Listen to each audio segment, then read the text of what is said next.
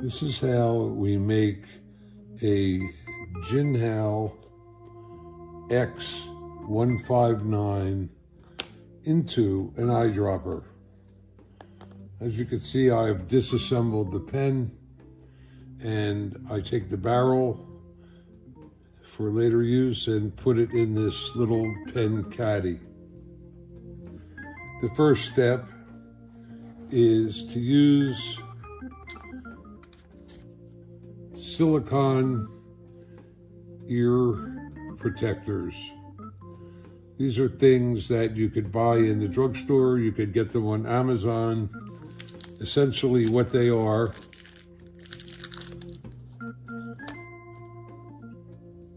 are pure silicone. And when you use them as earplugs, you shape it and you put these in your ear but for purposes of our use, this section right here is not free from leaking. In other words, this is not glued together or in otherwise secure. So I have to fill up this part from the bottom to just below, uh, just above this gold ring with this silicone.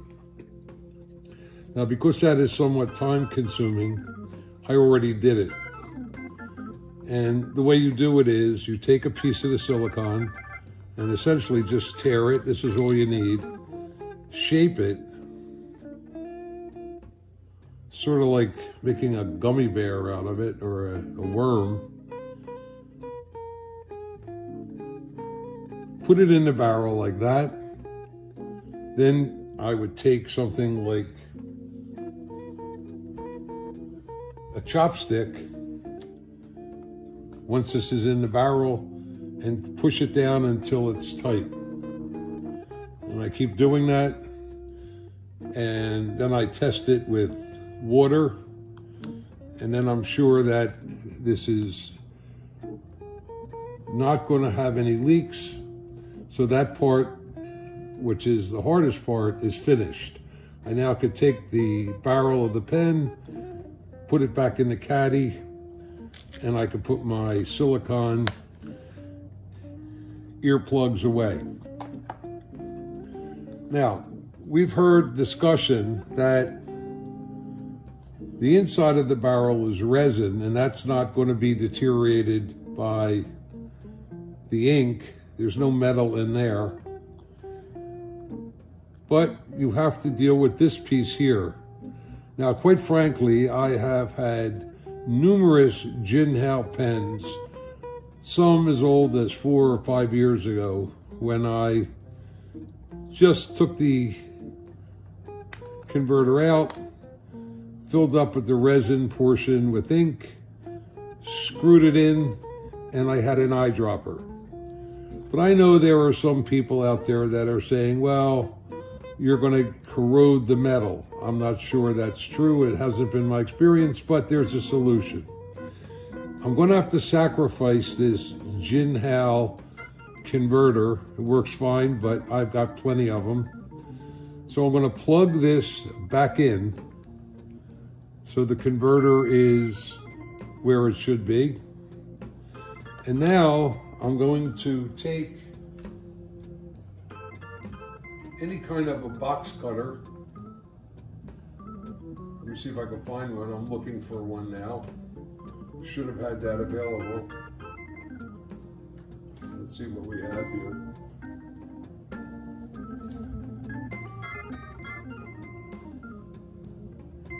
All right, here's the box cutter. Now the theory is that if I fill the cap with ink, the cap will come around here and most of the ink will go in here. So I'm going to cut a small piece, leaving us just a small piece protruding uh, from using the box cutter. Let's see how we could do that. Oops.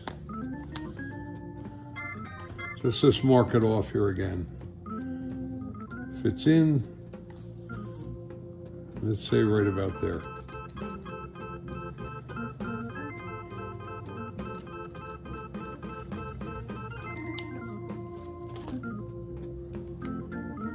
And now we're just going to cut it.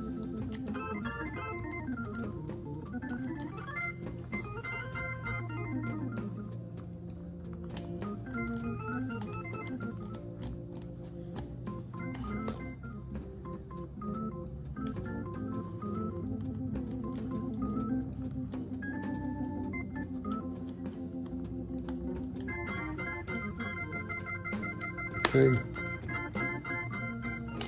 it is, it flew away. Put this aside.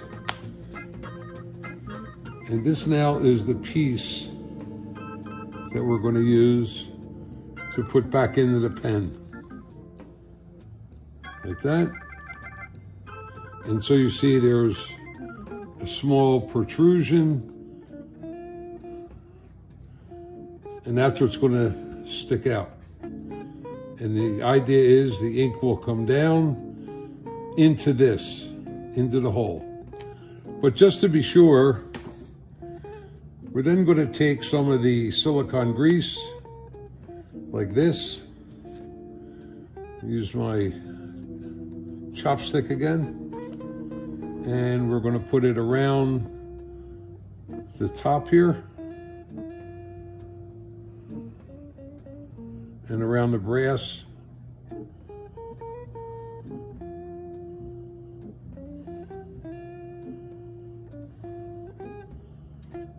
So that if ink gets on it, it'll have some resistance from the silicone grease. And we're gonna go into this area here. That's the top. And now we've covered this pretty well. Then one of the things we're going to do just to be sure we're not having a problem is that we want to take off the grease from a place where it might mix into the nib, which is on top here. So we're just going to wipe that off.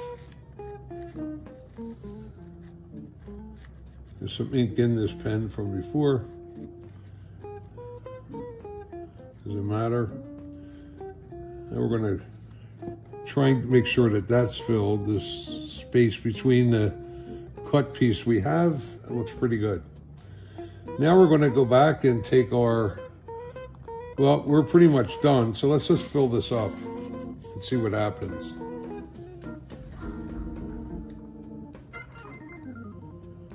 Let's try uh, some uh, Konpeki, always a pretty ink and we'll get a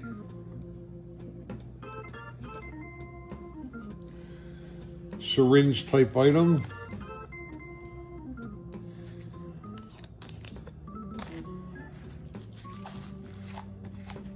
Found it's a good idea to clean the top.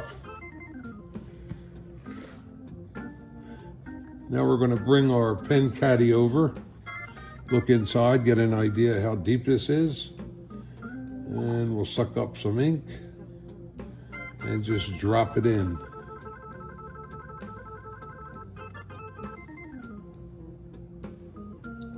All right. There's still room for a little more. Okay. Yep. We are about a half inch, quarter inch, between a half and a quarter inch from the top. Now, to make sure we don't get any spilled in case I filled it too high. So we're gonna, just in the first time, I'm gonna wrap around the pen like that. And we're gonna just put it in like that. You see a little bit of ink coming out.